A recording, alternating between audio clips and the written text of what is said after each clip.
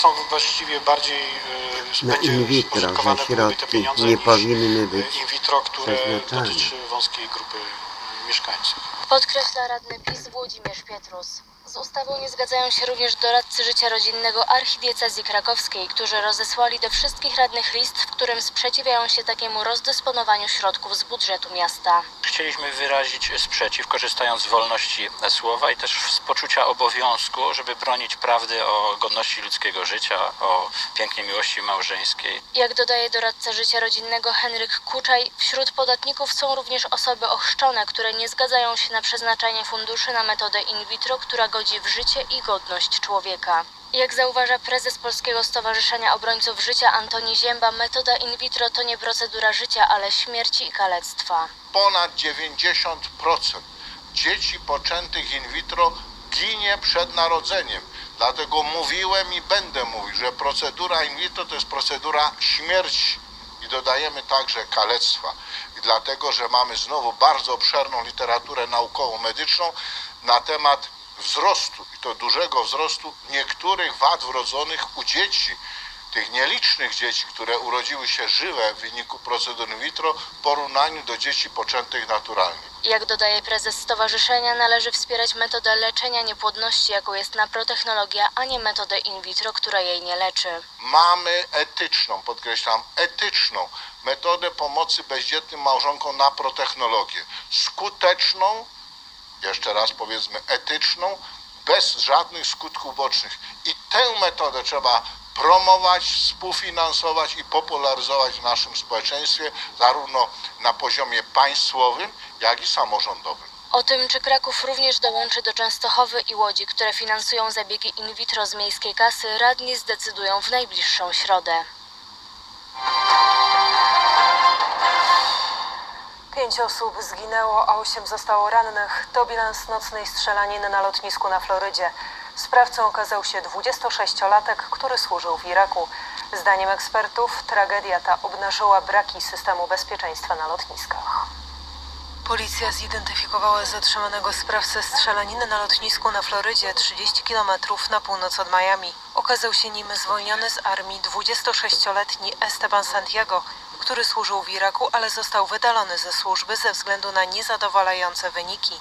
Brat zatrzymanego powiedział, że ostatnio był on leczony psychiatrycznie.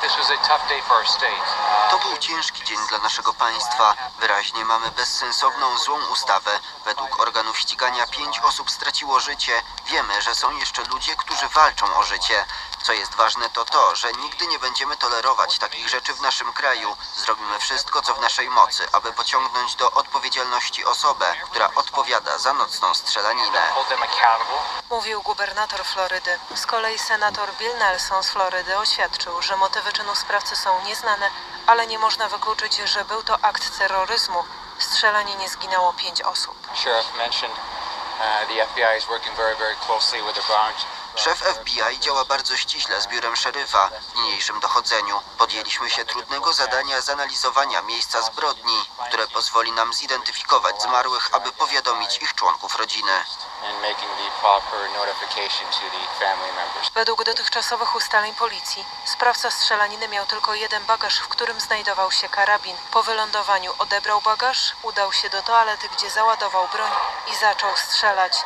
Sprawca otworzył ogień w hali odbioru bagażu w jednym z terminali lotniska. W hali terminalu wybuchła panika. Ludzie usiłowali jak najszybciej wydostać się na zewnątrz, tratując się nawzajem.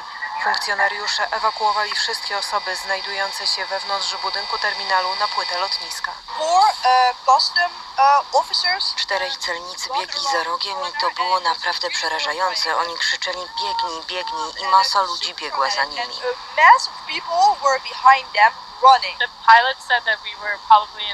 Pilot powiedział, że byliśmy w najbardziej bezpiecznym miejscu, więc to było dobre, ale jednocześnie była taka atmosfera napięcia, bo wiedzieliśmy, że jest to poważna sprawa. Najważniejsze, że żyjemy.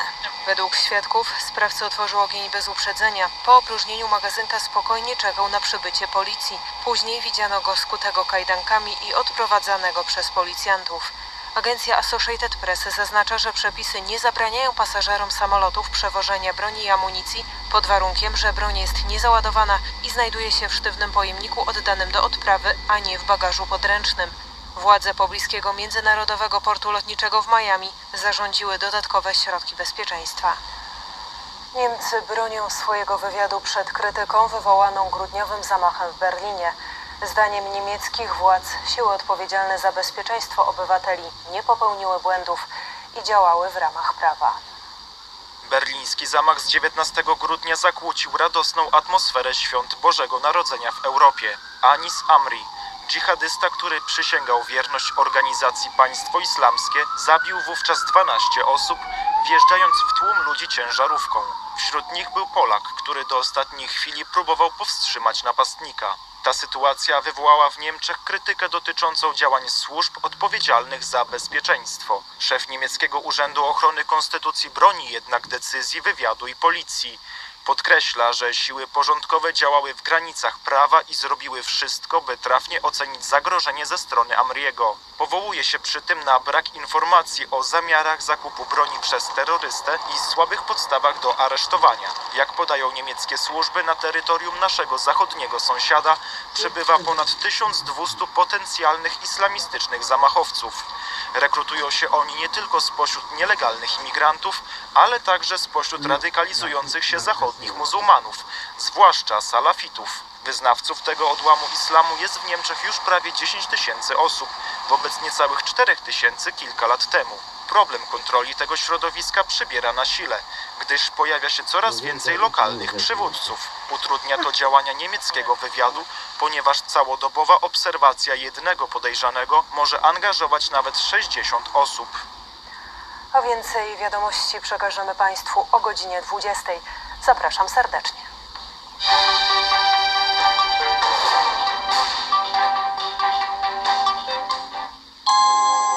Albo niektórzy boją się nagrywania, bo jak nagrzeszyli, ja mówię, Bożenciu, idź i nie grzesz więcej, to się nie będziesz bała nagrywania. zachmurzenie małe, miejscami umiarkowane. Na pozostałym obszarze kraju zachmurzenie duże, okresami słaby śnieg, a na krańcach północno-zachodnich także marznący deszcz. Temperatura od minus 25 stopni w Dolinach Karpackich do minus 3 nad morzem.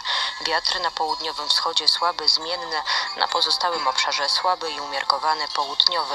Jutro na wschodzie zachmurzenie małe i umiarkowane, na zachodzie umiarkowane i duże, tam lokalnie słaby śnieg. Temperatura maksymalna od minus 12 stopni na wschodzie, minus 7 w centrum do minus 4 na zachodzie, nad morzem od minus 4 do minus 1. Wiatr na południowym zachodzie słaby i zmienny, na pozostałym obszarze umiarkowany, nad morzem porywisty, a na wschodzie północny i zachodni. Ciśnienie w południe w Warszawie wyniesie 1019 hektopaskali i nieznacznie spadnie.